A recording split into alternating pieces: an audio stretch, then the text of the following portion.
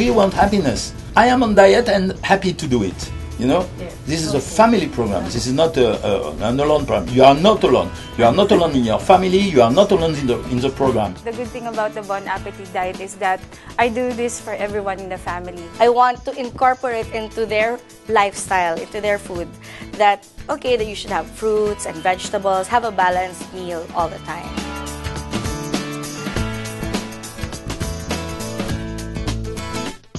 This time the result is to be healthy, to, to choose your style of life, and then also to, to have a, a, a good quality of life, and also to exchange. It's just like what Dr. Cohen said, it's really more of a change in the lifestyle.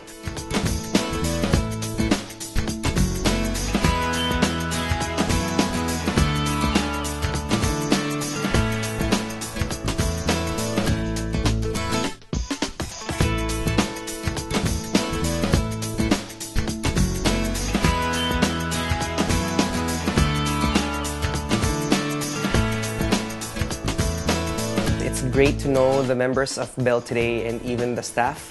They're able to provide me additional perspective and additional information on how we manage our diet. I found it very, very refreshing to meet a lot of diverse people. Not like the people you encounter that have succeeded in their diet. It was nice to be in a group of people who are practically the same boat as you are. You just want to be healthy, you want to be fit, you want to see your children grow old.